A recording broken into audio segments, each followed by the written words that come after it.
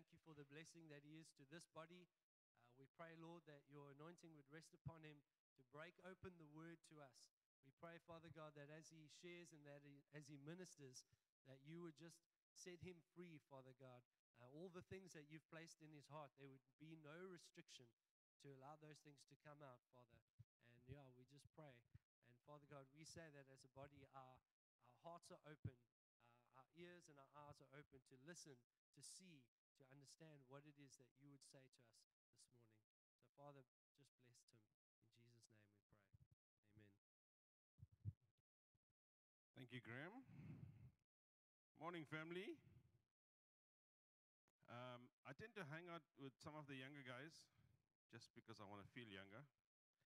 And uh, they have a say whenever they, in a positive mood, they have a say saying, You chose life. This morning, like Graham said, you chose life. So it's about TV games and, oh, they still call them TV games, I don't know. But when you get a life, you like you choose that life. So you chose life this morning by pitching up. So thank you very much. My name is Tim. My wife and I lead up. Uh, oh, we don't lead up the eldership team. We're part of the eldership team. Tramping on toes there. And I have the privilege of opening the Easter series. And like Graham said, it ends on Easter Sunday. And like Graham said, and most probably was looking at my notes, of all the things we observe as followers of Christ, Easter is the most important thing. And you'd say, why, Tim? Christmas. You know, we love, all love Christmas. And yes, the birth of Christ was very important. But if he was never crucified, and if he never, if he wasn't resurrected, we wouldn't be standing here today. He would have died an old man, and he would be known as a normal prophet, like our Jewish brothers and our Muslim brothers would want us to believe. So that's the reason I believe this week or the weeks leading up to the crucifixion is the most important time in Jesus Christ's life. And if you don't believe me, in the book of John, almost half of the chapters is dedicated to the weeks leading up to the crucifixion. In Matthew, two fifths dedicated. In Mark, three fifths. And in Luke, one third of it is dedicated to that period of time. So let's look at the most important week of Jesus Christ. Luke 19. So it's up there. As he approached Bethphage and Bethany at the ill called the ill called Mount of Olives, he sent two of his disciples, saying to them, Go to the village ahead of you, and as you enter it, you will find a colt tied there, which no one has ridden.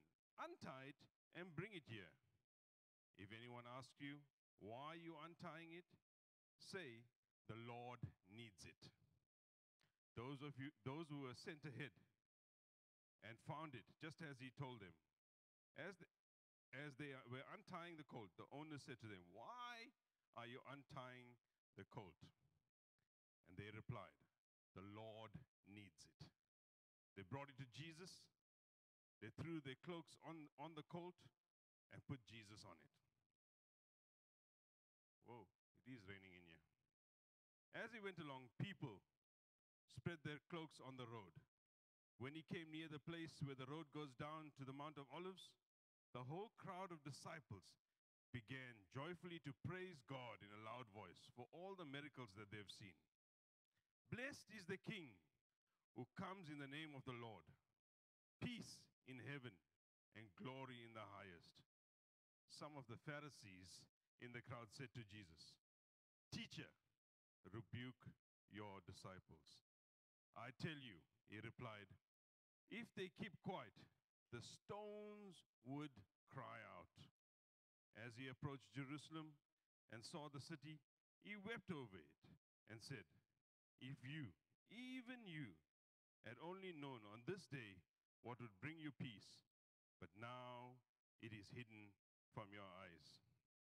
So we find Jesus in that scripture passing through a village called Bethphage and Bethany en route to Jerusalem.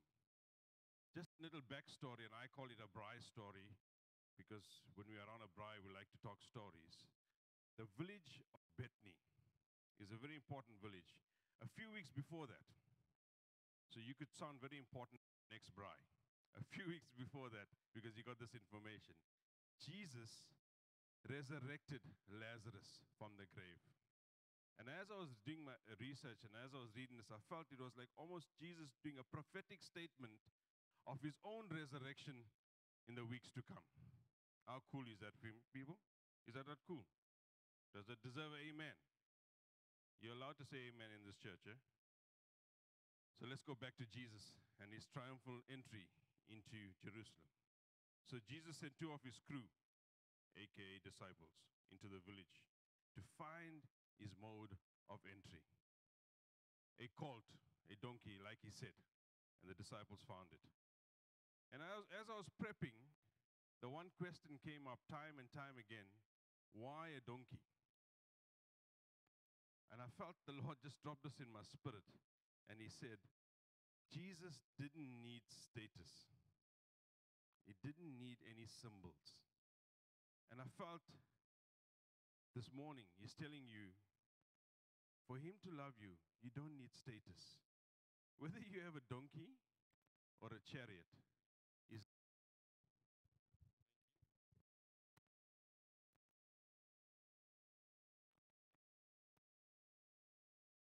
felt this morning that He wants you to know that whether you have a donkey or a chariot or a hundred chariots or no donkey, His love for you is the same. So I just felt while I was prepping that He dropped that in my spirit. So, why a donkey? There's two reasons. In Zechariah 9, verse 9, I'm sure it'll come up, it reads, The coming of Zion's king. Thank you. Rejoice greatly, daughter Zion. Shout, daughter Jerusalem. See, your king comes to you, righteous and victorious, lowly and riding on a donkey, a colt, a foal of a donkey. Jesus lived his entire life out in a prophetic form. So this was this word came 500, 500 years before Jesus entered Jerusalem. So he was living out the word of God. And I think we must take a page of, of that book and also we go, when we're going through the Bible, look at these things and live out our lives in a prophetic way. Also, I felt that Jesus never gave up a moment to teach us. Every moment in his life was a teachable moment. So when I started researching why the donkey, there was four characteristics of this animal that came up, and I equated it to the kingdom. The first one, I'm sure that'll come up also, was service. The donkey is used in farming to service the fields, and I'm not, I don't know much about farming, but I know it's a service animal. And I felt he wants to teach us almost 2,000 years later about service to the king.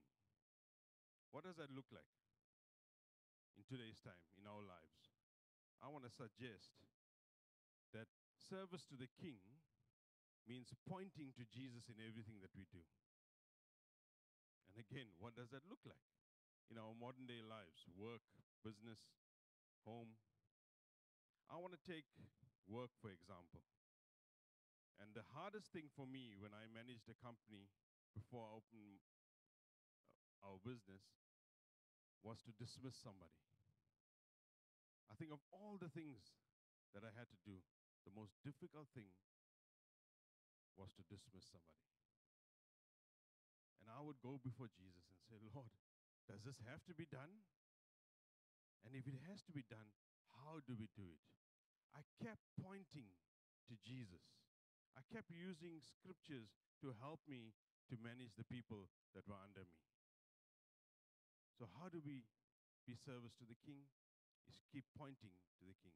In our, in our workplaces, in our sports fields, the guys that we admire, the, the Springboks, the, I don't know if you admire Bafana, Bafana. Sorry, I'm a soccer guy. I admire them. You know, the Proteas. I'm thinking of Man United. I don't admire them at this stage. Ray's looking at me. He's a Liverpool guy. We admire these guys.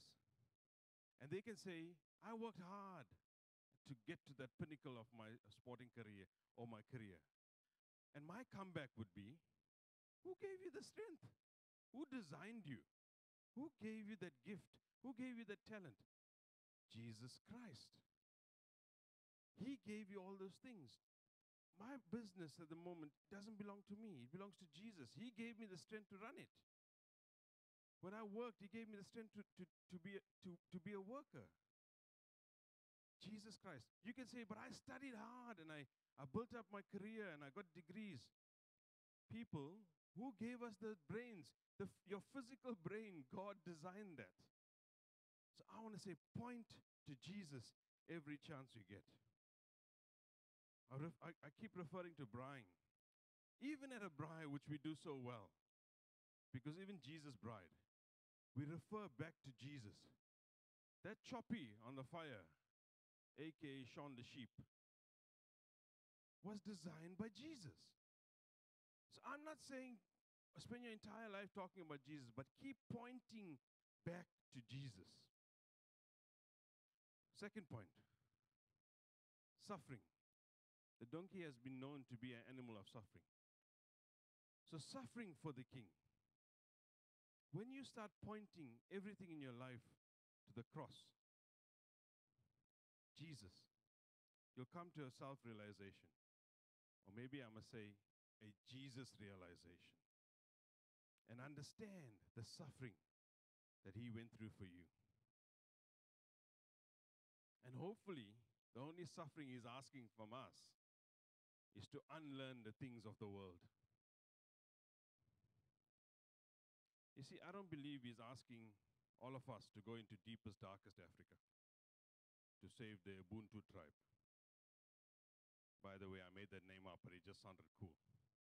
I don't know if there's a Ubuntu tribe. Maybe he's asking one or two of you, but the majority of us, I can sum up in one sentence what I believe the suffering he wants us to go through. And if you remember anything from today, it's this one sentence Break my heart for what breaks yours, Lord. So when it comes to suffering, that's the only suffering I see Jesus asking of us. He wants us to, see Jesus in everybody. The person next to you at church, the person in the taxi, the person at work, whether the person's higher than you in status or lower than you in status, it's irrelevant. He wants to see, he wants us to see Jesus in everybody. The guy begging at the window at your car, the addict, he wants us to see him in these people. In Matthew 25, verse 35, Jesus says, For I was hungry, and you gave me something to eat. I was thirsty, and you gave me something to drink. I was a stranger, and you invited me in. I needed clothes, and you clothed me. I was sick, and you looked after me. I was in prison, and you came to see me. Then the righteous will answer him, Lord, when did we see you hungry and feed you, thirsty and give you something to drink? When did we see you as a stranger and invite you in, needing clothes and clothe you? When did we see you sick or in prison and go visit you? The king replied, Truly, I tell you, whatever you did for one of the least of these brothers and sisters of mine, you did for me. Wow. I think that deserves an amen, people. Point number three peace in the king. The donkey has been known to be a peaceful animal. It doesn't go around biting people, from what I understand.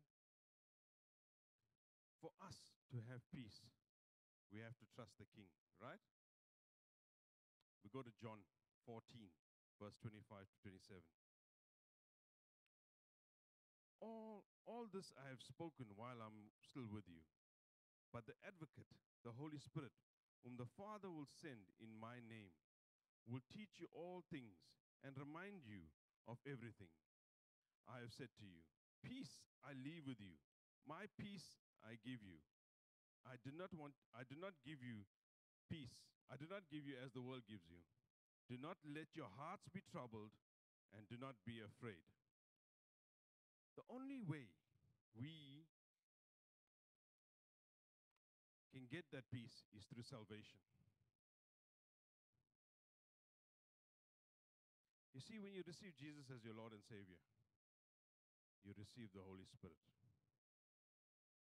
When the Holy Spirit comes, as we read, peace comes. I think that's a mic drop moment. And I asked Tracy, I'm not going to use our mic. In the movies, they go boom. Graham, you got to explain that to Tracy. I'll be in trouble if I drop this mic.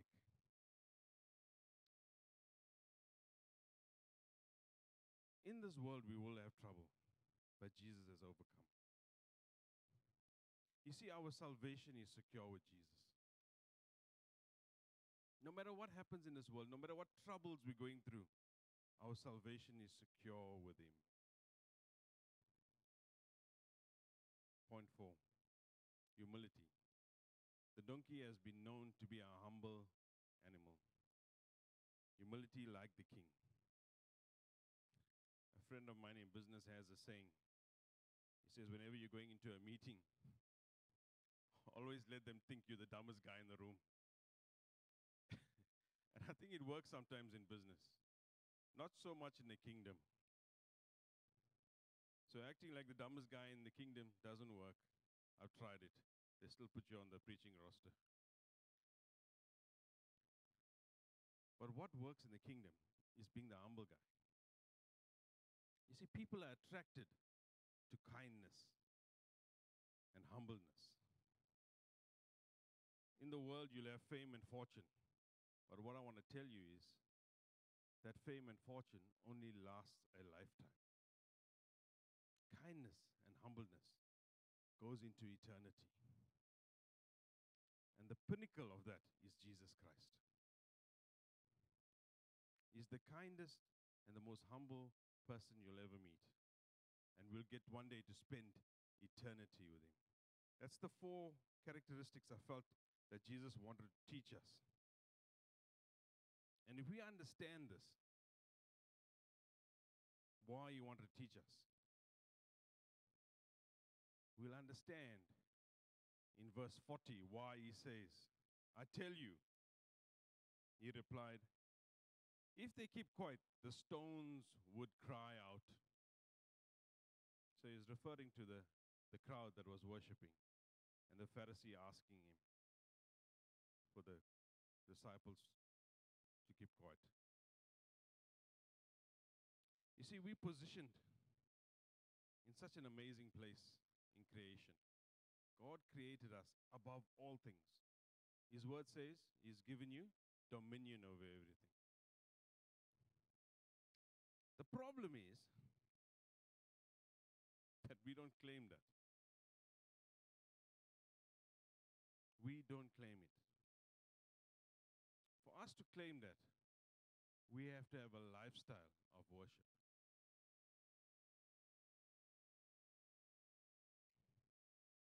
You see, the crowd that was worshiping Jesus, and they were rowdy.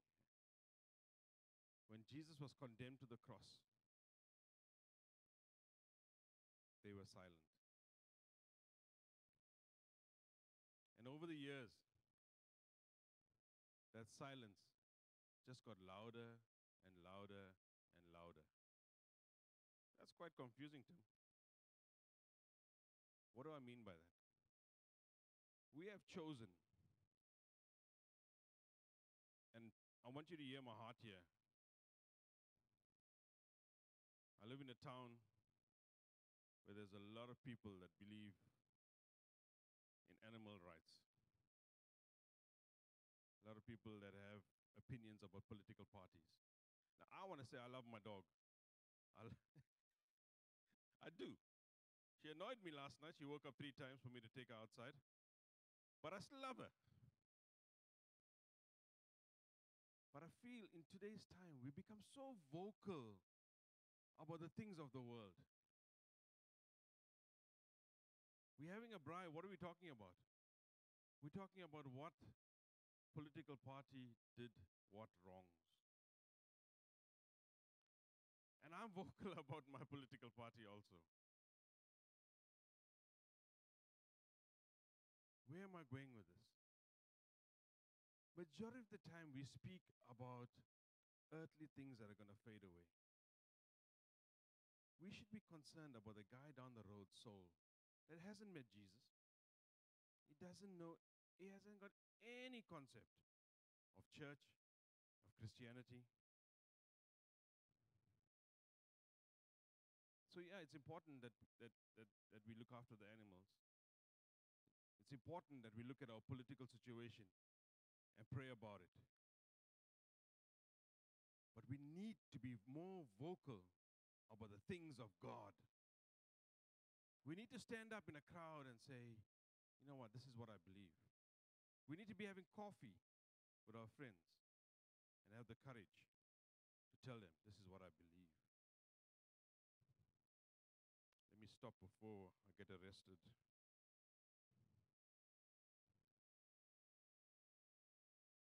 So, what's the way forward, Tim? I'm glad you asked that question, Tim. For me, the way forward is worship. Family, if we can't get it right here in this context, I can bet you're going to find it very hard to get it right in the other areas of your life. Because God designed this area of our lives as a safe zone. And I struggled with this preach of my busyness, and yesterday I was just feeling ill. I had a headache, and I'm not a headache guy, that I couldn't shake the whole night. And this morning at the prayer meeting, I said, Thank you, Lord. Because everybody that was praying was echoing the same thing that this place, the house of the Lord, is a place of safety. I understand the self conscious thing.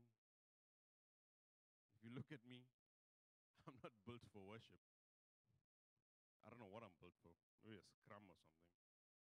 I don't know what you call the guy that motivates the rest of the guys. but I love worshiping. I have a friend. He actually ordained Michelle and I. he used to lead a church in the city. Yeah, when we used to go there for city celebrations, I couldn't focus on worship because he had such a different way of worshiping. and over the years, I just got to know him and, be- and we became very good friends. And he became my hero in worship.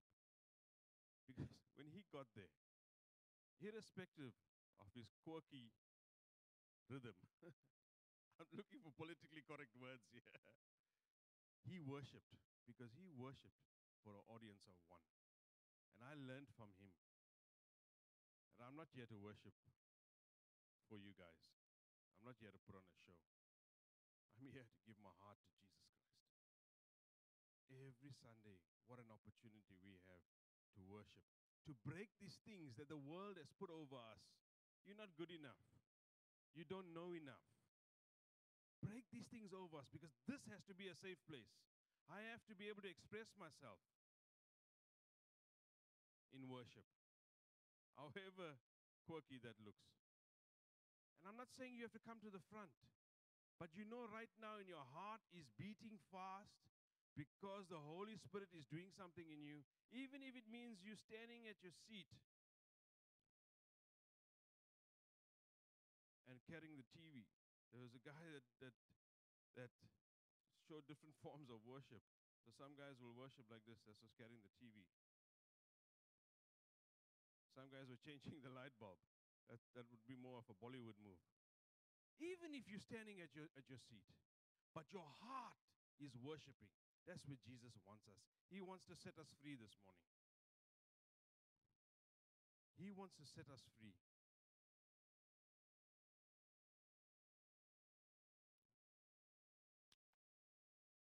I'll try to compact this as much as I can because we've got a five minute clip that we're going to go into. And it, and it, is, it is somewhat of a risk because I want to give big chunks of time for worship. Because I believe in my heart there's going to be freedom in worship today. Like I said when I started, you chose life this morning. Jesus wants to set you free. If we do not worship him, the stones will cry out. Be that guy to look at Jesus in the eyes and said, "Hey Jesus, I couldn't worship you." So you had to get the stones to cry out. Something has to break over our lives. And not just because we want to jump up and down here at church, but it starts here. So we're going to go into a five minute clip. I'm going to call the musos up. Like I said, I pushed to compact the word as much as possible because it, the clip's going to take five minutes. But at the end of the clip, you'll see, in the clip, you'll see the entire universe worshiping God the Father. Every creation worships God the Father.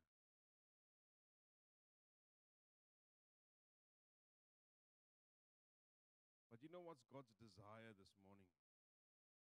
He sees you above all those things. He sees you above all His creation. We as humans don't even know. We know because of scientists, we know the known universe. We don't even know there's an unknown universe. And the reason we don't know it because hence the name. It's an unknown universe. But there's so much that he created that we yet we still have to discover. But God the Father is saying, all those things that we haven't discovered yet. You that's seated here in the storehouse today, you're above all those things. He sees you with his eye above all those things. He sees you with his heart above all those things. And let me tell you, he doesn't want you to worship because he's sitting there and waiting for you and he needs some kind of rhythm in his life. He wants you to worship because he wants to set you free.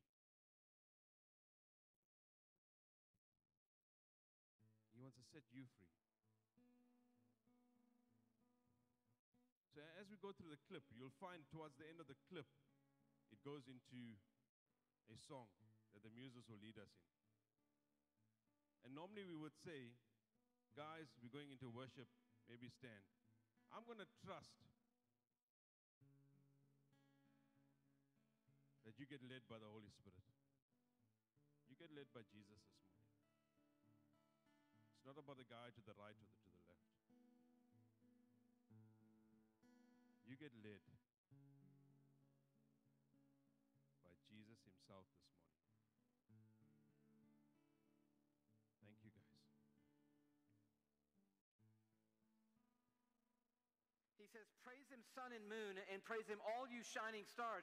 That's not just a poetic idea. That's really happening because stars don't just shine, stars also sing.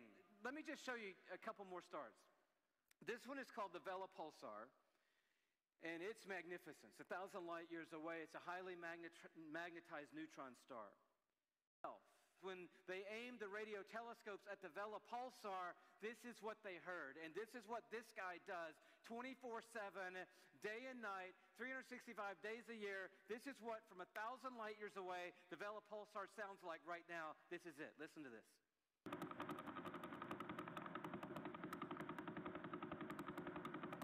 Now, I, I don't know about you, but I, that blew me away. I'm thinking, you know, go too crazy here, but maybe the Vela Pulsar got wind somehow innately of Psalm 148, verse 3, and since it says, Praise him, sun and moon, and all you shining stars. We're a shining star. We should praise him. Well, how are we going to praise him? I know. Let's oscillate 11 times a second on our axis and see if we can send a radio signal into the universe that would join in the symphony of God's praise from all creation. It's singing. The stars are singing to him. I recently stumbled on 47 Tuc. It's a, a beautiful uh, cluster of stars. We'll show you the picture of it here. There are 12 of these super giant blue stars in there, but the things that are of interest to us tonight are these millisecond pulsars. And right now, tonight, while we're sitting in this room, the 16 recorded millisecond pulsars in 47 Tuc are making this sound right now.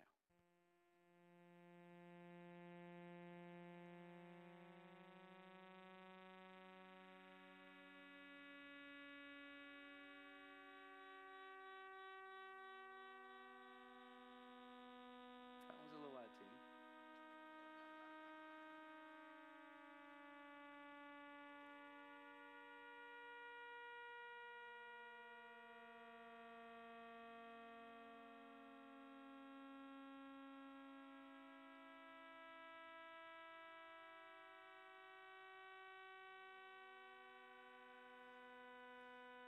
Isn't that beautiful? Who knew? No, God has his own string section. Pulsars, and you start seeing Psalm 48 come to life. But look down at verse 7. It says, Praise the Lord from the earth, you great sea creatures in all deeps. The, the whale songs could sound like this right here. Take a listen.